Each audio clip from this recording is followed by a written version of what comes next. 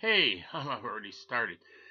You know, I, I try to avoid I try to avoid doing too many very political diatribes on my on my channel here, which but I, I think about it, what do I you know, the reason I avoid these purely political things is because they're so temporal in a way.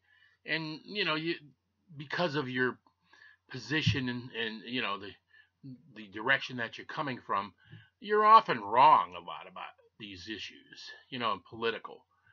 But nevertheless, here I am. I'm gonna spout out, do a little, a little rant on on it because who cares? I, I'm nobody in particular. As far I'm just some guy that has like a small following, if anything. So I'm gonna let you know what I really think about some political thing that's going on today, which is the the impeachment of Donald Trump, the President of the United States.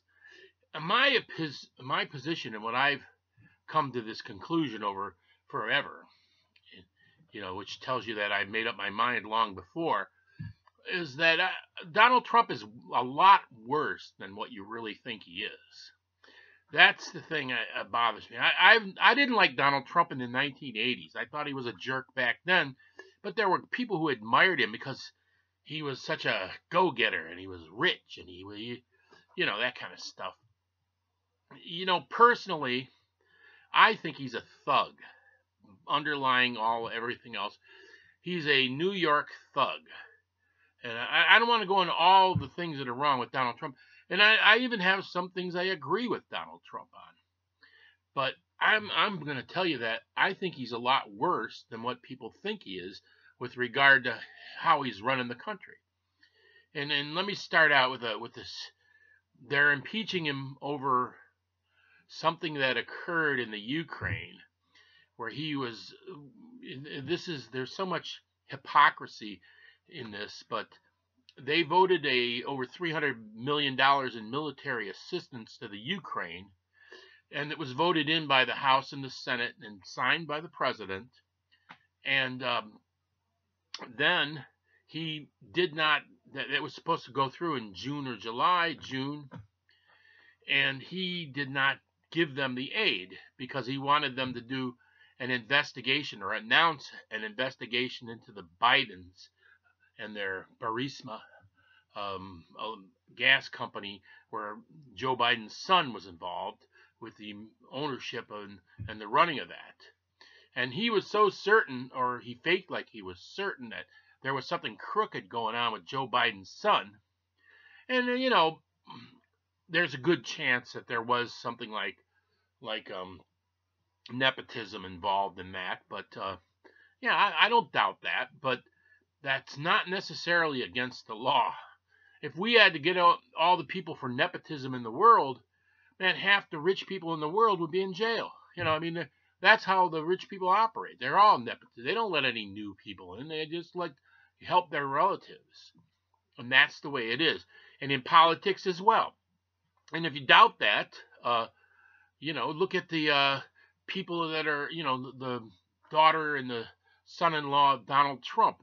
What does Donald Trump's son-in-law have any authority and understanding of the things that he's in charge of just because he's a Donald Trump son-in-law? You know what I mean? But let's look at it this way. When I listen to the Republicans in Congress, you know, I listen to them and they say things like, uh, well, you know, during the Obama administration, all they gave the Ukraine for med- military assistance was teddy bears and pillows and, and food. But during the Trump administration, they're helping them with, with missiles and stuff. Well, yeah, that's very true if you count it just by the Trump administration. But most of those bills are started in the House of Representatives. I mean, if you read the the, the Constitution, all those spending bills started in the in the House of Representatives. The House of Representatives during the Trump administration, at least after the first year, are Democrats. So who were the ones who voted in all the teddy bears? It was the Republicans. They're the ones who didn't help the Ukraine. And then when Donald Trump got that money and he was going to, and his job is to execute the law, which means just do the actual distribution of the money, he withheld it waiting for the the the new president of the Ukraine, Zelensky, I guess his name is.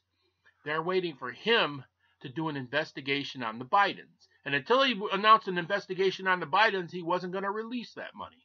And then he got caught, and they said, "Well, look, he released it." You know, yeah, after you got caught, you released it. In other words, so there. Look at all the hypocrisy here.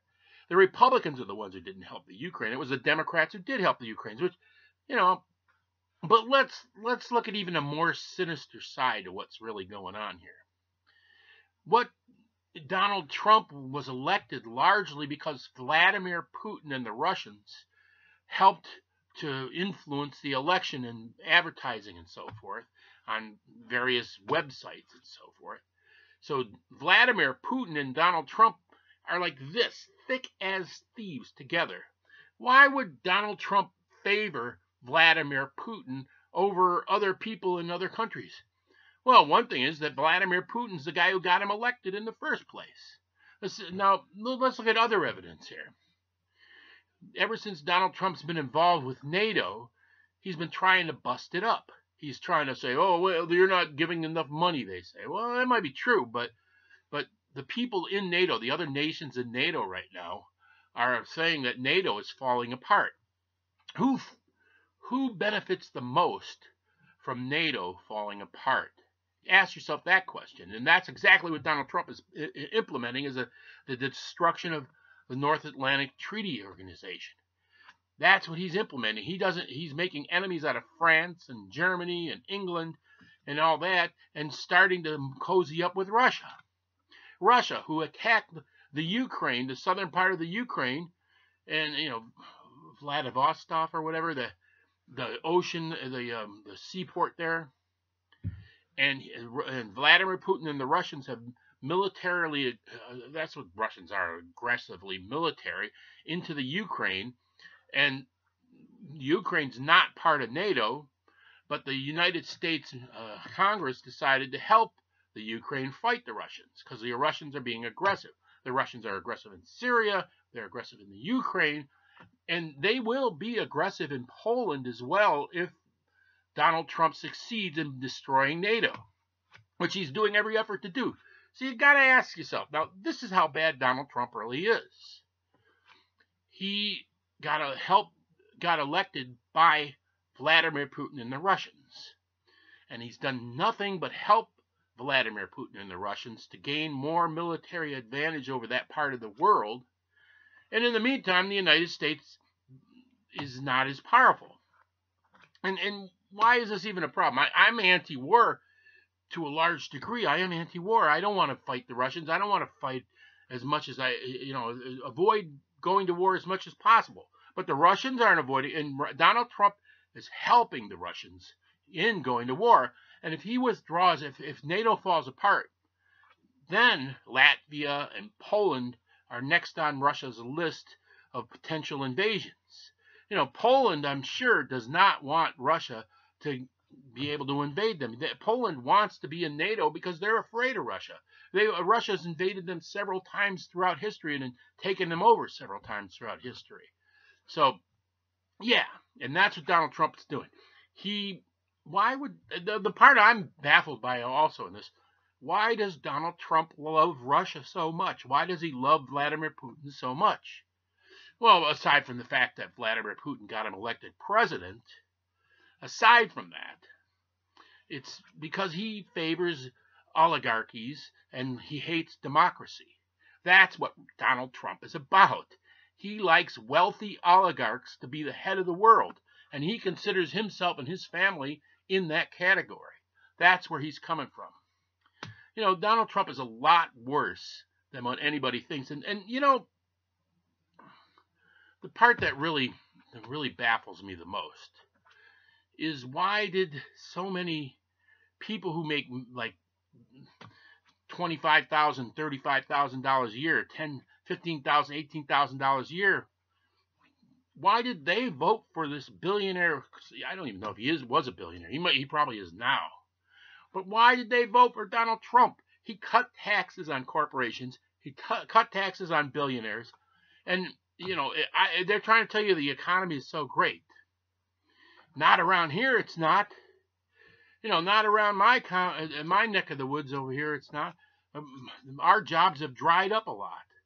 You know, and, and not only that, but the the average income has been dropping in relationship to inflation over the last 20 years, ever since 1980. Now, I don't want to get into that's politics again.